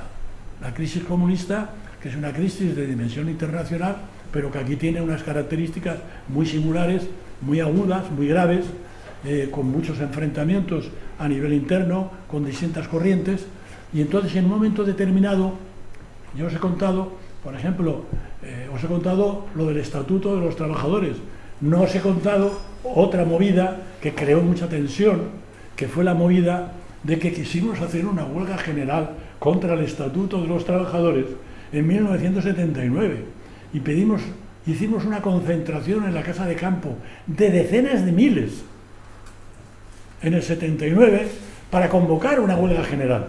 Y en intermedio tuvimos una discusión, la dirección de comisiones con la dirección del PC, que éramos todos de la dirección del PC también, sobre la oportunidad de esa huelga por el tema de la involución política. Y entonces, al final, se llegó a la conclusión de que aquello era un riesgo grande. Es decir, estábamos en una situación de inestabilidad. Pero fue traumático. Yo personalmente, en el Consejo Confederal, recuerdo que me dirigía a los compañeros con anterioridad a ese 14 de octubre del 79 para hablarles de Sota, Caballo, Rey. La Sota era un movimiento inicial, el caballo era el salto a esa gran concentración y el rey era la huelga. Pero nos quedamos sin rey. Eh, y eso fue muy traumático también a nivel interior. Creó tensión el tema del estatuto. Creó tensión el que al final, y yo creo que, sinceramente lo pienso así, eh, creo que había algo de razón, porque luego vino el 23F y demostró que no era un fantasma, porque se insistía en que se sacaba el temor del golpismo, y joder, que el temor del tornillo, cuando entró Tejero, eh, no veas algunos lo que corrieron. Y entonces, no, pero normal. Entonces, todo eso fue una acumulación que al final determina que introducimos, ya en el año 61 me parece que fue, en los estatutos, en un congreso, no me acuerdo el año exacto, una modificación que sigue viva, mediante la cual no era compatible el asumir un puesto en la dirección del sindicato a nivel de secretario general o en una federación o en un territorio y por supuesto a nivel de secretariado con tener una responsabilidad en una institución política. Eso ya es incompatible estatutariamente, cosa que no existía antes.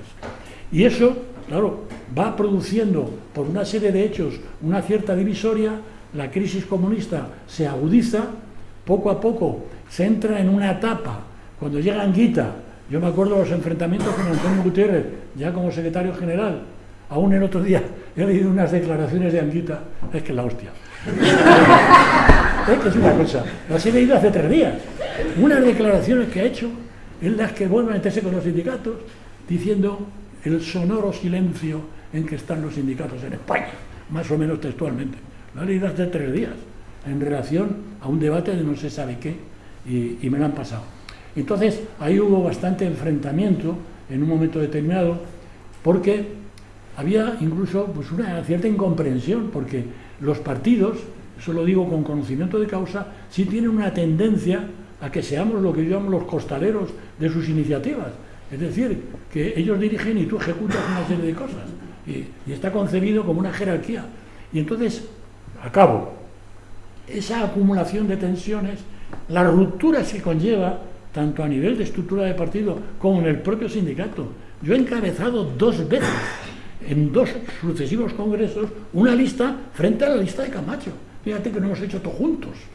Y que la relación que yo he tenido con Camacho, os, bueno, yo le hablé de usted los diez primeros años que nos conocimos. Era para mí el maestro, era para mí todo.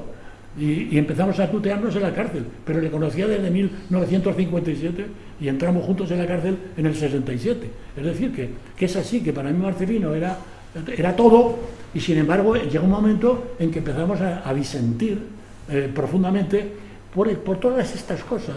Es decir, no pensábamos lo mismo sobre la crítica del partido a la invasión de Checoslovaquia, que era una, no pensábamos lo mismo sobre el estatuto o sobre el acuerdo marco interconfederal o sobre la huelga del 79 y todo eso va generando muchas tensiones internas que ha vivido el sindicato, muchas, muchas pérdidas de cuadros, eh, muchas pérdidas de tiempo, muchas pérdidas de energía, pero bueno, que forma parte de, de la vida misma. Entonces, conclusión, hemos vivido todo ello con mucho trauma, pero a estas alturas, yo hace ya años que vengo diciendo que quizá hay pocos sindicatos con mayor autonomía que comisiones obreras. No hablo de España, hablo de Europa, porque siempre ha habido una cierta vinculación. El modelo socialdemócrata por el que pelearon en el 79, que os decía antes, tanto el PSOE como la propia UGT, con su estrategia de diferenciación, era un modelo que tendía a la hegemonía de la socialdemocracia en la izquierda y a la hegemonía de la socialdemocracia en el movimiento sindical. poco pensando en Suecia, pensando, en fin, en Centro, Europa. Eso se peleó aquí en el 79 y no lo consiguieron.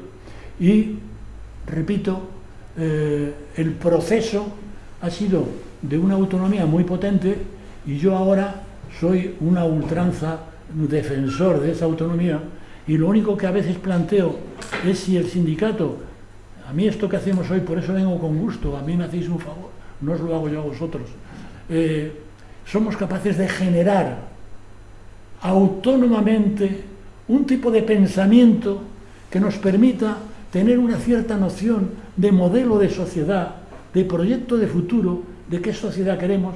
Es decir, porque sigo creyendo que tenemos que seguir siendo un sindicato con vocación anticapitalista, tenemos que seguir siendo un sindicato con vocación transformadora, sin gran, mucha grandilocuencia, pero no perdiendo eh, eso, un cierto ideario en perspectiva de futuro, un ideario de clase, porque sigo convencido de que el capitalismo eh, como sistema socioeconómico deja mucho que desear. Pero, pues no, ¿por qué lo digo?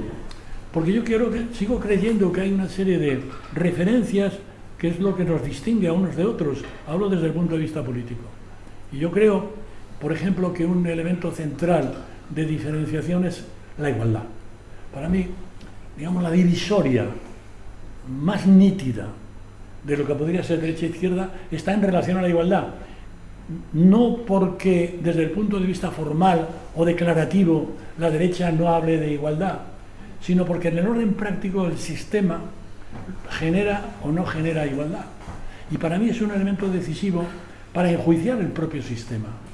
Es decir, cuando nos dan la estadística de cómo está concentrada la riqueza en el mundo, cuando nos dan la estadística de cómo están eh, los niveles de igualdad y de desigualdad en el mundo, dependiendo de los países, tú vas viendo que todo eso está asociado de alguna manera a un modelo, a un modelo no solo económico, por supuesto, sino incluso a un modelo político o a una concepción.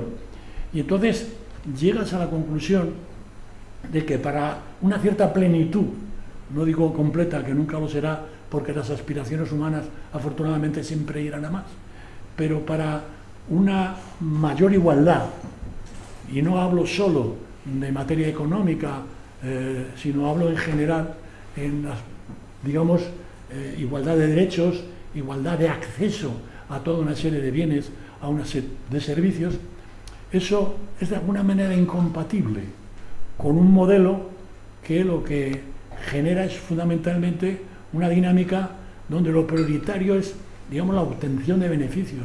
Lo prioritario es la acumulación, no la distribución o la redistribución.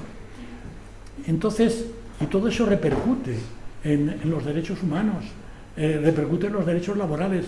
Cuando aquí, en la época más reciente, en el tratamiento de la crisis, se introducen una serie de modificaciones, que las hemos citado, son muy conocidas, dicen, no fotografíes a los policías eh, si en una manifestación reprimen, o, no digas determinadas cosas, eh, esa ley que han llamado ley mordaza, o cuando hay una modificación, que por cierto la hizo el Partido Socialista, creo que es el artículo 315, en relación al tema de los piquetes, de las huelgas, que al final, al final, yo he vivido recientemente algo insólito, y es que a los trabajadores de Airbus de Getafe, el año pasado, el antipasado, la petición fiscal que les han hecho hace dos años en España era la misma que me hicieron a mí hace 40 años con motivo de la asamblea que hicimos para la manifestación en octubre en plena dictadura franquista.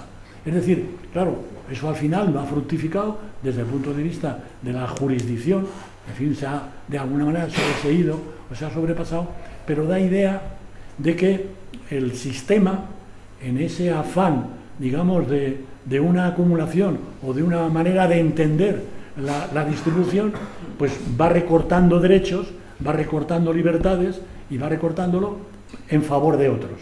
¿Esos otros quién son? Pues los del sistema.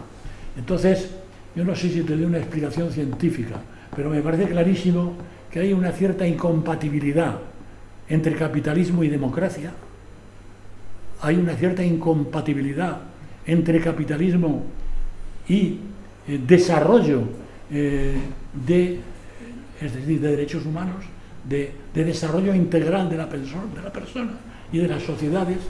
Y lo único que sí tengo la preocupación es que los ensayos que se han hecho en otra etapa para intentar superar eso han terminado en fracaso, porque desde luego hay que reconocerlo, la experiencia de los países del este o incluso la experiencia de un país como el actual, que es China, que tiene un gobierno por un partido comunista, digamos que deja bastante que desear. desde el punto de vista de los derechos humanos, muchísimo que desear. Y yo la concepción que tengo de lo que tendría que ser eso, la izquierda y la sociedad socialista, desde luego es una sociedad de derechos, es una sociedad de libertades, y eso lamentablemente a veces parece que resulta incompatible con una sociedad superadora del sistema capitalista. Es decir, todavía no tenemos claro cuál es el modelo alternativo, pero sí tenemos claro que el actual no nos vale.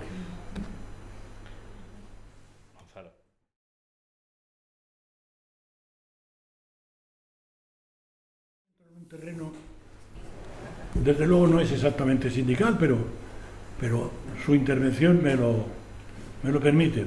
Yo soy muy amigo de Gallego. Eh, recuerdo mis conversaciones con él cuando estábamos en plena crisis para que participara con nosotros en el Congreso en que nos enfrentamos a Gerardo Iglesias. Lo perdimos por el 49 frente al 51. Y yo le pedía a Ignacio Gallego, que me llevaba bien con él, que nos echara una mano porque él tenía influencia sobre un grupo que había en Andalucía precisamente, que creo que se llamaba Frente Leninista, donde no sé si estaba el propio Anguita, que en el Congreso aquel que éramos mil delegados tenía menos de que 20, que si se hubieran decantado de nuestro lado hubiéramos ganado y no ganamos. Gallego me dijo que no le diéramos vueltas, que, que aquello no tenía arreglo. Me dio una versión yo creo que muy personal suya, es decir, más o menos que había una intervención externa y que esa intervención externa era para que, para que ganara eh, Gerardo Iglesias y no, y no Carrillo. No era Carrillo el que se presentaba como candidato a ese congreso, pero lo cito porque como estaba en el Ejecutivo con Ignacio, con, con Ignacio Gallego, incluso yo le conocí en París en uno de esos viajes clandestinos que se hicieron en tiempos de Franco. Y, repito, teníamos muy buena relación personal. Lo que voy a decir es lo que creo que es verdad eh, y sin herir ninguna susceptibilidad. En plena crisis del PC se configuran tres corrientes, una que se llamó de los renovadores, otra que tildábamos de los prosoviéticos, y otra que era los eurocomunistas, por decirlo de alguna manera, en donde estamos otros. Eh, nosotros quizás eh, prestamos mucha más atención al fenómeno de los renovadores y quizá nos equivocamos porque quizá no medimos suficientemente bien la influencia que tenía el Partido Comunista de la Unión Soviética sobre un fragmento importante del propio PC yo voy a contar aquí algo que no está escrito en ningún sitio, que era personalmente desde el punto de vista, suelo utilizar la palabra sentimental por utilizar una palabra, eh, bueno, un poco neutra, pero yo he sido siempre eh, muy amigo de la Unión Soviética, pero de siempre, de la época incluso que creía que los comunistas tenían rabo, pero me gustaba la música, si es verdad, me gustaba la música de los de los músicos eh, de, la, fin, de Rusia, de escritores rusos, tenía una cierta simpatía. Y eso debió de inducir a la idea de que yo era susceptible de colocarme del lado de gallego en la configuración del Partido Comunista de los Pueblos de España. Entonces fui invitado dos veces a comer por el representante del Partido Comunista de la Unión Soviética en España, un tal Astajov, que me llevó dos veces a un restaurante alemán que cerca del Tribunal Constitucional para convencerme que como auténtico comunista me sumara a la iniciativa de Ignacio Gallego, que estaba en marcha para la creación del Partido Comunista de los Pueblos de España. No lo hice, es obvio que no lo hice, pero lo que trato de ir a parar es que en la crisis del PC tuvo muchísima importancia el papel que jugó el Partido Comunista de, la Unión Soviética, muchísima importancia, y lo tenían teorizado, era necesario que nosotros perdiéramos aquel Congreso y lo ganara Gerardo porque la tesis que sostenía el Partido Comunista de la Unión Soviética, os estoy contando una cosa muy importante desde el punto de vista de la historia, que no se escribe, pero que es real, la tesis era que si ganaba Gerardo, el Partido Comunista se hundiría y los verdaderos comunistas iríamos todos al Partido Comunista de los Pueblos de España de, Ignacio Gallego y de otro que fue presidente en el caso de Cataluña, que estuvo conmigo en la cárcel de Segovia. No me acuerdo ahora de su nombre, pero era otro histórico del Partido Comunista. Conclusión, ha habido diferencias, eh, yo creo que notables, porque efectivamente no se asumía para los soviéticos el eurocomunismo era una traición. Hubo en una revista que creo que se titulaba eh, Tiempos Nuevos, que editaba en castellano la Unión Soviética, un artículo de un tal Poromaryov, cogiendo el eurocomunismo y tildándolo de traición a las ideas del verdadero marxismo y del verdadero comunismo. Y en fin, conclusión, lo importante es que nos pudimos diferenciar en otra época, pero estamos hoy aquí y estamos defendiendo lo mismo. Y eso es lo que en este momento nos tiene que quedar. No sé si os he contado algo que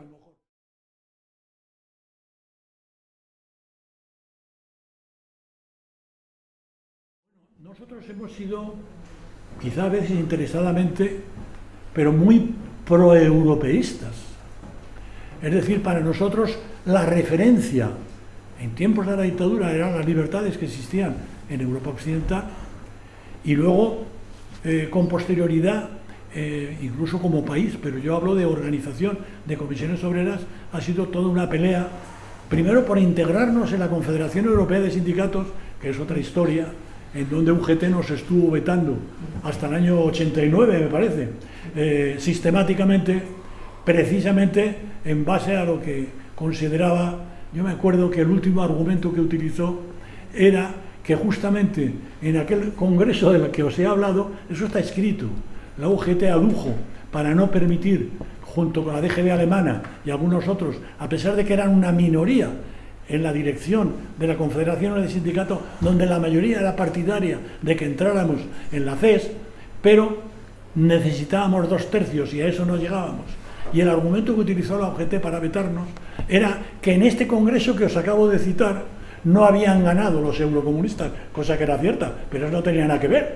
Eso no tenía nada que ver con el tema, porque en aquel momento, desde luego, era absolutamente neta la diferenciación de comisiones obreras respecto del Partido Comunista y en definitiva la autonomía era plena.